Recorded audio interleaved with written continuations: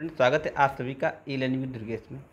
गणित शिक्षण के इस महत्वपूर्ण क्लास में मैं मुख्य आप सभी का स्वागत करता हूँ फ्रेंड पिछले क्लास में हम लोगों ने गणित शिक्षण के कुछ महत्वपूर्ण टॉपिक पर डिस्कस किया था, जिसमें हमारे गणित की जो है क्या क्या हमने डिस्कस किया था, एक बार इसको रिविजन कर लेते हैं। देखिए, गणित के जो हम लोगों ने अनिवार्य विषय के रूप में उसको क्यों बनाने का कारण क्या है तो क्यों उठे, पाठ्यक्रम में उच्च स्थान दिया जाना चाहिए। इन से रिलेटेड जितने भी पॉइंट थे उसको हम लोगों ने एक एक करके जो है, अच्छे से देखा था। और उसकी कंप्लीट विश्लेषण हम लोगों ने इस क्लास में हमने उस क्लास में किया था। मतलब इस टॉपिक को हमने पूरी तरीके से पढ़ लिया था। तो आज हम लोग एक नई टॉपिक को पढ़ने वाले हैं, जो कि है दमपुट है। यहाँ से फ्रेंड आप मान चलिए हंड्रेड जी हाँ फ्रेंड हंड्रेड परसेंट यहाँ से जो है क्वेश्चन निश्चित तौर पर हर बार सीटेट की परीक्षा में देखने को मिलते हैं। इसलिए इस टॉपिक को मेरे से आप सभी लोग बड़े ही ध्यान से, बड़े ही सतर्कता साथ और बड़े ही समझ बूझ और सूझबूझ के साथ जो है पढ़िएगा, क्योंकि यहाँ से शत प्रतिशत प्रश्न आपकी परीक्षा में मिलते हैं। तो पढ़ेंगे हम लोग फ्रेंड वैन हिले का जामतीय चिंतन, जो कि बेहद महत्वपूर्ण है। चलिए। इस सिद्धांत में इन्होंने बताया था कि जामतीय बच्चों के लिए जामतीय को बच्चे किस प्रकार से सीखते हैं। जी हाँ फ्रेंड, इस सिद्धांत में वैन हिले महोदय ने सर्वप्रथम इस बात की पुष्टि की थी कि बच्चे जो है किस प्रकार से सीखते हैं। किस प्रकार से जामती संरचना को सीखते हैं। इसके लिए उन्होंने पाँच क्रम बताए थे। इसके लिए उन्होंने फ्रेंड पाँच क्रम बताएँ जो निम्न है। कौन कौन से क्रम है? पहले क्रम के बारे में हम लोग देखेंगे, उसके बाद एक एक करके जो है सब चर्चा करेंगे। ठीक है फ्रेंड? तो पहला जो इन्होंने क्रम बताया फ्रेंड, इसका नाम रखा इन्होंने चाछुषीकरण जी हाँ फ्रेंड, पहला जो इन्होंने बताया उसका नाम रखा चाछुषीकरण या मानसिक चित्रण या लेबल ओ। जी हाँ फ्रेंड सॉरी लेबल ज़ीरो। चाछुषीकरण मानसिक चित्रण या लेवल ज़ीरो। मेरे साथ आप सभी लोग नाम का भी रिवीजन करिएगा। क्योंकि इस नाम से भी प्रश्न बनते हैं। निम्नलिखित में से जैसे आपसे पूछ लिया जाएगा कि निम्नलिखित में से कौन सा वैन हिलिंग के, वैन हिलिंग के सिद्धांत के अंतर्गत सम्मिलित नहीं है। तो आपको उसमें दे दिया जाएगा चाचुतीकरण मानसिक चित्रण, विश्लेषण अनौपचारिक आगमन या एक को कोई और दे दिया जाएगा। तो इसमें आपको जो है पहचाना होगा कौन सा है। तो इसलिए आप इन नामों को जो है बहुत ही ध्यान से इसको जो है समझेंगे और इसको अपने मस्तिष्क में बैठाएँगे। तो पहला है चाचुच्छीकरण मानसिक चित्रण लेवल ज़ीरो। दूसरा है विश्लेषण विश्लेषण लेवल वन। तीसरा है अनौपचारिक निगमन लेवल टू। चौथा है, सॉरी, तीसरा है अनौपचारिक निगमन लेवल टू। और चौथा है औपचारिक निगमगन, सॉरी, निग, निगमन लेवल थ्री। और पांचवा है दृढ़ता लेवल फोर। फिर से रिवीजन करिएगा। पहला है चाचुच्छीकरण मानसिक चित्रण लेवल ज़ीरो। दूसरा है विश्लेषण लेवल वन। तीसरा है अनौपचारिक निगमन लेवल टू। चौथा है औपचारिक निगमन लेवल थ्री और पांचवा है दृढ़ता लेवल फोर। तो एक एक करके इनके बारे में डिटेल व्याख्या हम लोग करेंगे बारी बारी से। ठीक है फ्रेंड, इसको आप लोग मनन कर लीजिएगा, रट लीजिएगा। पहला है चाचुचीकरण या मासिक चित्रण। दूसरा है अनौपचारिक तीसरा है विश्लेषण लेवल वन। और तीसरा है आपका अनौपचारिक लेवल टू। और चौथा, औपचारिक और पाँचवा दृढ़ता। इस प्रकार से इसको आप, इस सीक्वेंस को, इस क्रम को आप लोग अच्छे से लर्न करिएगा, क्योंकि यहाँ से भी परीक्षा में प्रश्न बनते हैं। यहाँ से एक से एक मार्क्स आपके पक्के हो जाएँगे, यदि आप इसको अच्छे से एक से दो बार रट लेते हैं या एक से दो बार इसको रिवाइज कर लेते हैं। आगे बढ़ेंगे एक एक के बारे में देखेंगे फ्रेंड ध्यान से। पहला फ्रेंड चाचुचीकरण या मानसिक चित्रण विजुलाइजेशन लेवल ज़ीरो जी हाँ इसके बारे में जानेंगे, क्या होता है। देखिए विद्यार्थी इस स्तर पर क्या करता है? ज्यामिति आकृतियों को जैसे त्रिभुज, आयत, समांतर रेखाएँ आदि को उनके नाम के आधार से पहचान करते हुए उनकी बनावट का, उनकी बनावट का आधार पर तुलना करते हैं। जी हाँ फ्रेंड मतलब इस स्तर पर बात रही लेवल ज़ीरो की या जो मानसिक चित्रण का, जिसे हमने मानसिक चित्रण का नाम दिया है, इस आधार पर बालक में होता क्या है फ्रेंड? कि विद्यार्थी इस स्तर पर ज्यामिति आकृति, जैसे जैसे त्रिभुज त्रिभुज फ्रेंड, जैसे कि त्रिभुज, ठीक है? जैसे आयत जैसे आयत, जैसे समांतर रेखाएँ, जैसे समांतर रेखाएँ, आदि को उनके नाम से पहचानता है। मतलब वह त्रिभुज की संरचना से परिचित है, वह आयत की संरचना से परिचित है, वह समांतर रेखाओं की संरचना से परिचित है। वह जानता है कि यदि तीन भुजाओं से बंद आकृति दिखेगी तो त्रिभुज होगा। यदि चार भुजाओं से बंद आकृति दिखेंगी तो चतुर्भुज होगा। यदि दो रेखाओं के बीच की दूरी समान है तो वह समांतर होंगी, वे आपस में समांतर होगी। मतलब इस तथ्य का उसको ज्ञान है, इसलिए आसानी से उनकी पहचान वह कर ले रहा है। ठीक है फ्रेंड? साथ ही साथ क्या है कि जब वो तीन भुजाओं की आकृति को देखता है तो त्रिभुज बताता है, चार भुजा वाली आकृति को देखता है, चतुर्भुज बताता है। ठीक है। आगे बढ़ेंगे, ये बिल्कुल सिंपल सा था अगला है विश्लेषण। विश्लेषण क्या और पढ़ेंगे, विश्लेषण के बारे में देखेंगे। विश्लेषण या एनालिसिस जिसे हम कहते हैं लेवल वन की बात हो रही है। लेवल ज़ीरो पे हम लोग लेवल वन पे आ गए हैं। चाक्षुषीकरण या मानसिक चित्रण के बाद लेवल ज़ीरो लेवल ज़ीरो से लेवल वन की तरफ़ बढ़े हैं, जिसका नाम है विश्लेषण एनालिसिस नाम से स्पष्ट है क्लियर है फ्रेंड की एनालिसिस होता क्या है। इस स्तर पर विद्यार्थी ज्यामितीय की विभिन्न आकृतियों को उनको देखकर उनके गुणों या विशेषताओं के आधार पर वर्णित व वर्गीकृत कर लेता है तथा उसका चित्र भी बना लेता है। क्या फ्रेंड वर्ग, वर्णित या वर्गीकृत कर लेता तथा उनका चित्र भी बना लेता है। कहने का मतलब फ्रेंड कि पहले तो क्या है, वो देख कर पहचान लेता था। पहले लेवल में हमने देखा लेवल ज़ीरो में हमने देखा क्योंकि वह आकृति को देख कर पहचान लेता था कि ये चतुर्भुज की आकृति है, त्रिभुज की आकृति है या समांतर रेखाओं की आकृति है या वर्ग की आकृति है। मतलब इस प्रकार की जो आकृति होती है, विभिन्न प्रकार की जो जमती आकृतियाँ हैं उनको देखने भर मात्र पहचान लेता था, पहचान कर लेता था।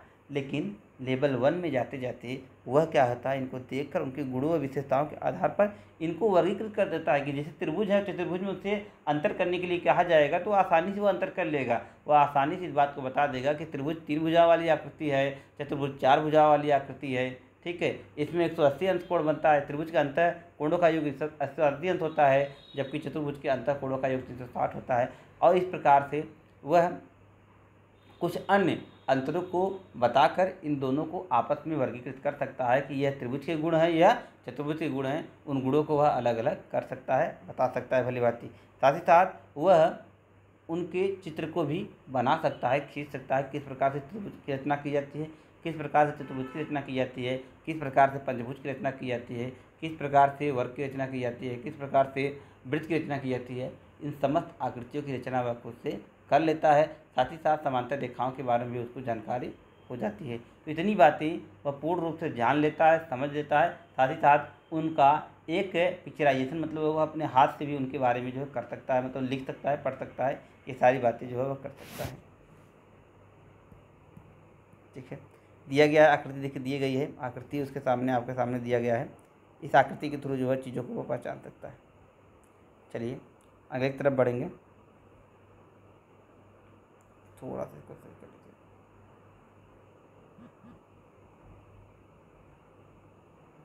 चलिए, अगली अगला नियम के बारे में पढ़ेंगे फ्रेंड, अगला जो स्टेज है इसका, उस स्टेज के बारे में पढ़ेंगे। अनौपचारिक निगमन अनौपचारिक निगमन, इसको बोलते हैं informal informal deduction informal deduction मतलब लेवल टू जी हाँ friend level zero level one अब हम लोग आ चुके हैं लेवल टू की तरफ़। लेवल टू में क्या है? हम इसे जानते हैं अनौपचारिक निगमन के बारे में। ये अनौपचारिक निगमन के नाम से या इनफॉर्मल इनफॉर्मल डिडक्शन के नाम से हम इसको भली भांति से जानते और पहचानते हैं। इस स्तर पर विद्यार्थी में देखिए फ्रेंड होता क्या है कि इस स्तर पर विद्यार्थी जामतीय आकृतियों को देखकर उनको परिभाषीय आधार पर बताने लगता है। जी हाँ फ्रेंड मतलब अब क्या है कि पहले तो क्या, पहले स्टेज हमने देखा क्या कि वह देखने से मात्र देखने भर मात्र से बता सकता है कि आकृति त्रिभुज है, कि चतुर्भुज है, कि समांतर रेखा है। दूसरी दूसरी स्टेज में हमने देखा कि वह क्या कर लेता था, वह अंतर कर लेता था। उनके गुणों और दोषों को बता, उनके गुणों को, के आधार पर उनका वर्गीकरण कर लेता था कि मतलब त्रिभुज के क्या गुण होते हैं, चतुर्भुज के क्या गुण होते हैं, इस प्रकार से गुणों के आधार पर उनका वर्गीकरण वह कर लेता था। लेकिन तीसरी स्टेज में जाते जाते उनसे संबंधित एक विशिष्ट परिभाषा को भी वह बता लेता है अर्थात उनको पूरी तरीके से परिभाषित करने में वह सक्षम हो जाता है वह किसी भी किसी के सामने भी त्रिभुज नामक आकृति या चतुर्भुज आकृति नामक आकृति के बारे में पूरी तरीके से व्याख्या करने के लिए तैयार हो जाता है। मतलब उनको चित्र के माध्यम से, उनके गुणों के माध्यम से, उनके परिभाषा के माध्यम से मतलब पूरी बातें एक सामने वाले मतलब बालक हो या कोई व्यक्ति हो, वह संतुष्ट करने की क्षमता उसके अंदर विकसित हो जाती है। मतलब इन ज्यामितीय आकृति के बारे में उसको पूर्ण नॉलेज हो जाता है। आगे देखेंगे फ्रेंड इसके बारे में और क्या बातें हैं। चलिए, जैसे क्या कर लेता है वह? भुजाओं व विकर्ण को स्पष्ट रूप से समझकर आकृतियों में अंतर तथा संबंध ज्ञात कर लेता है। उनका सूत्र भी बताता है, ठीक है? उनका सूत्र भी बता लेता है। मतलब फ्रेंड, कि अभी तक तो आकृति से भी परिचित था, लेकिन इस स्टेज में जाते जाते क्या होता है, वह आकृतियों को आकृतियों को जो है, स्पष्ट रूप से समझकर उनके विकर्णों की स्पष्ट जानकारी कर लेता है, कि उनके विकर्ण कैसे होते हैं कि कहाँ पे काटते हैं, क्या उनका संरचना में रोल होता है, साथ ही साथ उनसे बनने वाले महत्वपूर्ण सूत्रों की भी जानकारी बालक को हो जाती है। जैसे त्रिभुज का सूत्र क्या होता है? त्रिभुज के का क्षेत्रफल कैसे निकालते हैं? त्रिभुज का परिमाप कैसे निकालते हैं? ठीक है। त्रिभुज के अंतःकोणों का योग कितना होता है? ये छोटी छोटी जो बातें होती हैं, जो छोटे छोटे फार्मूले होते हैं, जिनसे बच्चा प्रश्नों को हल करता है, उन सभी की जानकारी उसको हो जाती है। जैसे फॉर एग्ज़ाम्पल मैं आपको बताऊँ कि त्रिभुज का परिमाप क्या होता है? आप सभी लोग जानते हैं कि त्रिभुज के तीनों भुजाओं का जो योग होता है, वह त्रिभुज का परिमाप होता है। ठीक है? अब यदि मैं बात करूँ कि त्रिभुज का क्षेत्रफल क्या होता है? त्रिभुज के क्षेत्र के क्षेत्रफल के लिए कई सारे कंडीशन होते हैं। जैसे इसको दो कैटेगरी में डिवाइड करते हैं, आप सभी लोग जानते हैं। एक भुजाओं की आकृति आधार पर और एक कोण के आधार पर। तो भुजाओं के आधार पर तीन प्रकार के होते हैं तथा कोण के आधार पर भी त्रिभुज तीन प्रकार के होते हैं। तो उसी के आधार पर जो फ्रेंड सॉरी भुजाओं के आधार पर देखिए कोण आपके जो है, त्रिभुज जो आते हैं आपके, वह सॉरी भुजाओं के आधार पर देखिए पहला समबाहु हो गया, समद्विबाहु हो गया विषम भुजाओं के आधार पर तीन होते हैं और कोण के आधार पर भी तीन होते हैं, समकोण विषम कोण सॉरी न्यून कोण समकोण और विषम कोण मतलब भुजाओं के आधार पर और कोण के आधार पर, दोनों के आधार पर त्रिभुज तीन प्रकार के होते हैं। इतनी बातें। उसके बाद जैसे यदि क्षेत्रफल की बात करें तो जैसे एक कामन का क्षेत्रफल है, कामन एक फार्मूला है इसका। और जिसको आप बता सकते हैं इसका जिसके सहायता से आप सारे क्षेत्रफल निकाल सकते हैं। तो कह सकते हैं एक विषम त्रिभुज का क्षेत्रफल है, विषम बाहु त्रिभुज का क्षेत्रफल है। इसका फार्मूला होता है, आपको मैं एक हिंड के थ्रू बता दे रहा हूँ कि एस बराबर सॉरी त्रिभुज के क्षेत्रफल को ए से डिनोट करते हैं। ए बराबर under root S S minus A S minus B और एस माइनस सी ठीक है। अब बात आती है यहाँ पर यस क्या है फ्रेंड तो यस का मतलब होता है अर्ध परिमाप। यस का मतलब होता है अर्ध परिमाप या सेमी पेरीमीटर कर सकते हैं इसको। इसको निकालते हैं A plus B plus C बटा दो। इस इस फार्मूले से हम लोग एस इसके जो है कैलकुलेट करते हैं। उसके बाद इस फार्मूले से हम लोग किसी भी त्रिभुज का जो है क्षेत्रफल निकाल सकते हैं। यह सबके लिए भी, लेकिन कुछ के और भी सरल हैं। उनके बारे में आगे चल के हम लोग पढ़ेंगे। जैसे संभाव का होता है, आप सभी लोग जानते हैं, संभाव का क्षेत्र फार्मूला होता है अंडर तीन बटा चार गुड़े भुजा स्क्वायर, इस प्रकार से संभाव का होता है। इसी प्रकार से आयत का सॉरी समकोण त्रिभुज का होता है, एक बटे दो गुड़े, आधार गुड़े ऊंचाई। तो मतलब इन अलग अलग त्रिभुज के अलग अलग फार्मूले होते हैं जिसकी जानकारी बालों को हो जाता है। आगे। बढ़ेंगे चौथे और चौथे जो है अवस्था की तरफ़ इसके। चलिए। चौथी अवस्था है औपचारिक निगमन की अवस्था। फार्मल डिडक्शन के बारे में हम लोग पढ़ने वाले हैं। फार्मल डिडक्शन के बारे में क्या होता है? फार्मल डिडक्शन मतलब लेवल टू। छात्र प्रमेय को निगमना, निगम, निगमनात्मक और निगमनात्मक तौर पर सिद्ध करने लगता है। आकृतियों को अपने तर्क द्वारा सिद्ध करता है। ठीक है? आकृतियों को अपने तर्क द्वारा वह सिद्ध करता है। मतलब फ्रेंड, अब उसमें क्या होता है? जैसे आगमन का नाम औपचारिक का मतलब चाहिए क्या है?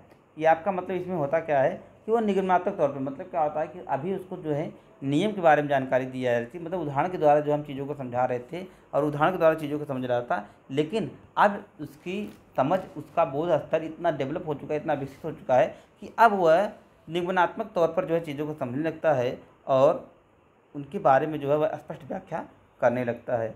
कि मतलब किस प्रकार से इसमें किन किन तथ्यों का प्रयोग किया जाएगा, किस तथ्यों के आधार पर इसका निष्कर्ष निकाला जाएगा, या क्या क्या इसके अंदर और भी समाहित बातें हैं जिनके आधार पर हम इसको जो है हल कर सकते हैं, इसके जो है सिद्ध कर सकते हैं। इन सारी बातों को जो है एक एक करके वह समझने लगता है और उनको जो है विस्तृत रूप से जो है व्याख्या उसकी करने लगता है।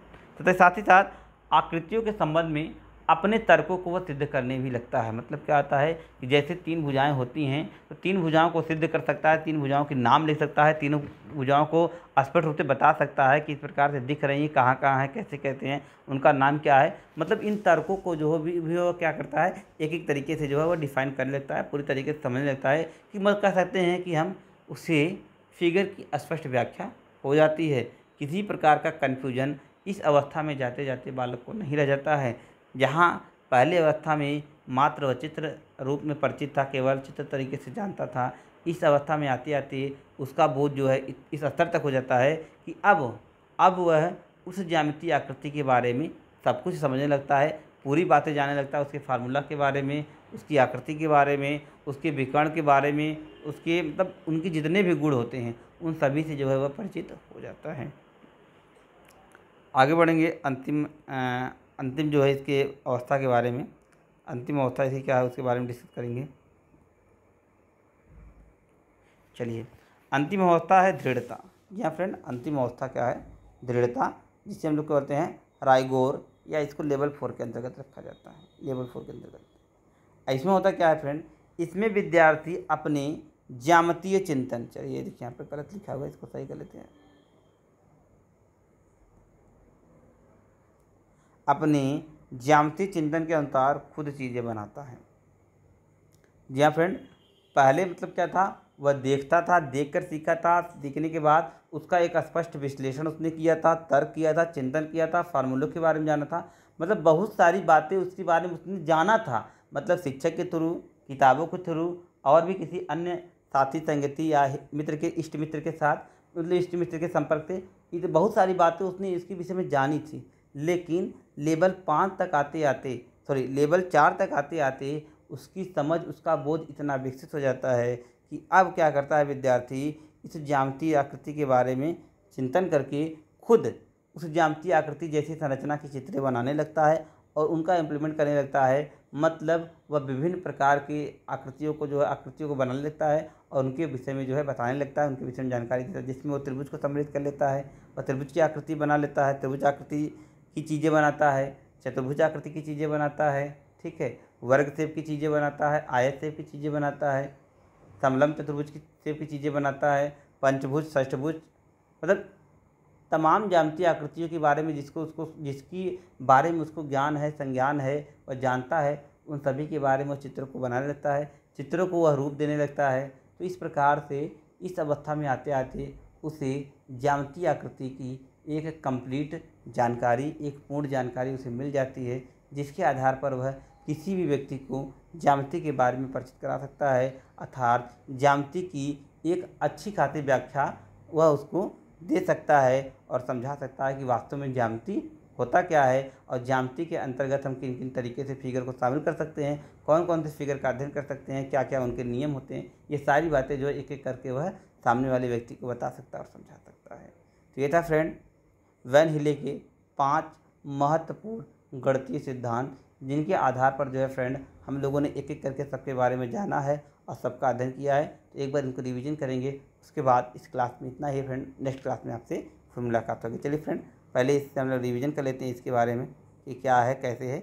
हम लोगों ने पढ़ दिया अच्छे से कि बिना रिवीजन के ये टॉपिक आपको अच्छे से समझ नहीं आएगा तो इसलिए रिवीजन करना मस्ट है। तो एक एक करके रिवीजन करेंगे। सबसे पहले इनके नाम के बारे में रिवीजन करेंगे, उसके बाद एक एक करके जो है इस पॉइंट के बारे में आपको बताएँगे। ठीक है फ्रेंड चलिए। इन्होंने क्या है? जी हाँ वैन हिले ने क्या किया था? कि इन्होंने बताया था कि बच्चे जो है जामती जामती को बच्चे किस प्रकार सीखते हैं, इसके लिए इन्होंने क्या है? पाँच क्रम बताए थे। पाँच क्रम, या कह सकते हैं इनके पाँच प्रिंसिपल पाँच सिद्धांत इन्होंने बताए थे, जिसको इन्होंने केंद्र में रखकर बच्चों को ज्यामितीय आकृतियों को सीखने के संदर्भ में पूरी जानकारी उन्होंने प्रस्तुत की है और पूरी जानकारी उन्होंने स्पष्ट जो है, स्पष्ट रूप से व्याख्या की है। चलिए, पहली जो इन्होंने बताया है उसके बारे में एक एक करके ये आप क्रम याद रखिएगा और लेवल याद रखिएगा, क्योंकि अक्सर यहाँ से प्रश्न बने हैं। मैं बार बार आपसे कह रहा हूँ फ्रेंड कि निश्चित तौर से इन, अगर आप कुछ भी नहीं याद कर पा रहे, कम से कम इनका क्रम और इनका जो है लेबल याद रखिएगा। हिंदी में नहीं याद तो अंग्रेज़ी में याद रखिएगा, लेकिन याद ज़रूर रखिएगा। चलिए, एक बार पुनः आपसे मैं डिस्कस कर लेता हूँ। पहला है चार उच्छीकरण या मानसिक चित्रण लेवल ज़ीरो। दूसरा है विश्लेषण एनालिसिस जिसे हम अंग्रेज़ी में कहते हैं, इसका है लेवल वन। तीसरा है अनौपचारिक निगमन, जिसका है लेवल टू, जिसको हम लोग लेवल टू के अंतर्गत रखते हैं इनफॉर्मल डिडिक्शन और चौथा है औपचारिक निगमन मतलब formal formal deduction level three और चौथा है दृढ़ता मतलब लेवल फोर मतलब लेवल फोर, या कह सकते हैं कि पांचवा क्रम। इन पाँचों क्रम के आधार पर जो है बच्चों को ज्ञान दिया जाता है। बच्चे सीखते हैं चीज़ों को और उसका इम्प्लीमेंट करते हैं और जो है आगे कर, एक एक करके जो है वो लोग उनके बारे में समझते हैं। चलिए, क्या क्या पढ़ा हम लोगों ने? हम लोग चाचुच्चीकरण के बारे में बच्चों के मतलब देखा हमने। इसमें क्या करते थे? बच्चों जो है मतलब नाम के आधार पर पहचान लेते थे कि क्या त्रिभुज बोला जा रहा है तो त्रिभुज की आकृति कैसी होती है। उनका एक हल्का सा प्रतिबिंब उसके मस्तिष्क में आ जाता था। आयत के बारे में अगर बोला गया तो आयत की एक तरह आ जाता था। समांतर रेखाओं के बारे में चर्चा हो रही तो उसके बारे में, पंचभुज के बारे में, षष्ठभुज के बारे में, सर्किल के बारे में मतलब कुछ ज्यामितीय आकृतियों के बारे में उसके जो है चीज़ें पहले से पता लगती हैं और वह उनके नाम मात्र से ही एक प्रतिबिंब उसके मस्तिष्क में उसका बन जाता है। इस अवस्था में इतनी जानकारी होती है। आगे बढ़ेंगे। दूसरा होता है विश्लेषण। इस अवस्था में क्या होता है फ्रेंड कि वह उनके गुणों या विशेषताओं के आधार पर वर्णित और वर्गीकृत कर लेता है। ये मोस्ट इंपॉर्टेंट है फ्रेंड कि विश्लेषण अवस्था में जाते जाते बालक जो होता है, वह उनके गुणों और विशेषताओं के आधार पर उनमें वर्गीकृत कर लेता है। कि कौन सा आयत का चित्र है? कौन सा त्रिभुज का चित्र है? कि त्रिभुज के चित्र की क्या विशेषता है? आयत के चित्र की क्या विशेषता है? ये बातें छोटी छोटी बातें वह जानने लगता है, समझने लगता है और इसके आधार पर अंतर भी वह स्पष्ट कर लेता है। आगे बढ़ेंगे औपचारिक अवस्था। इस अवस्था में हमने देखा क्या कि बालक क्या करता है? उनको परिभाषीय रूप में जो है, परिभाषीय रूप में उनके बारे में जानने लगता है अर्थात एक परिभाषा में के रूप में जो है उनको समझने लगता है और किसी के द्वारा पूछे जाने पर एक स्पष्ट परिभाषा वह व्यक्त कर लेता है। इस अवस्था हमने देखा फ्रेंड क्या करता है? कि वह जामती आकृतियों को देखकर उनकी मतलब उनकी परिभाषा के बारे में स्पष्ट धारणा बना लेता है कि किस प्रकार से मैं इस आकृति को परिभाषित कर सकता हूँ, इस आकृति के बारे में किसी को जो है बता सकता हूँ, समझा सकता हूँ। ठीक है फ्रेंड? साथ ही साथ क्या कर लेता है, वह इनकी जो है, इनके भुजाओं के बारे में, कि जैसे तीन भुजाओं वाली आकृति है तो इसको त्रिभुज कहेंगे, चार भुजा वाली आकृति इसको चतुर्भुज कहेंगे, पाँच भुजा वाली आकृति है, इसको पंचभुज कहेंगे, छह भुजा वाली आकृति इसको षष्ठभुज कहेंगे तो इस प्रकार से भुजाओं के आधार पर भी वो फिगर की पहचान करने लगता है। और विकर्ण के रूप में विकर्ण से परिचित हो जाता है कि सम, और से सॉरी कि समान आयत का विकर्ण क्या है? आयत के विकर्ण की क्या प्रॉपर्टी होती है? क्या विशेषता होती है? कहाँ पे कट करता है? कितने विकर्ण होते हैं? एक आकृति में कितने विकर्ण खींचे जा सकता है? इस बातों को भी समझना मतलब विकर्ण नामक जो अवधारणा होती है, उससे वह परिचित हो जाता है। ठीक है फ्रेंड? स्पष्ट रूप से वह समझकर और आकृतियों में अंतर तथा संबंध याद कर लेता है और उनका सूत्र भी बताने लगता है कि मतलब जो भी इसे फार्मूला वैसे परिमाप के फार्मूला कुछ होते हैं, ठीक है? कुछ क्षेत्रफल के फार्मूला होते हैं तो उन फार्मूलाओं फार्मूलों से भी, उन सूत्रों से भी उसका परिचय हो जाता है। आगे देखेंगे औपचारिक निगमन में। औपचारिक निगमन में क्या होता है फ्रेंड औपचारिक निगमन में क्या करता है? वह आकृतियों को अपने तर्क द्वारा जो है सिद्ध कर लेता है कि क्या मतलब कि प्रमेय जो होता है उससे संबंधित मतलब क्या होता है कि छात्र प्रमेय को निगमनात्मक तौर पर सिद्ध करने लगता है। मतलब क्या होता है कि अब उनके बारे में जो तर्क होते हैं, वह क्या करता है? वह नियम की सहायता से उन तर्कों की भी, तर्कों का समाधान करने के योग्य हो जाता है और अपने तर्क को आकृतियों के नियम, कानून के द्वारा, नियम मतलब नियमों और विशेषताओं के द्वारा खुद से वह सिद्ध करने लगता है। अंतिम विशेषता फ्रेंड यह है कि वह विद्यार्थी इसमें विद्यार्थी क्या करता है? जामती चिंतन जामतीय चिंतन।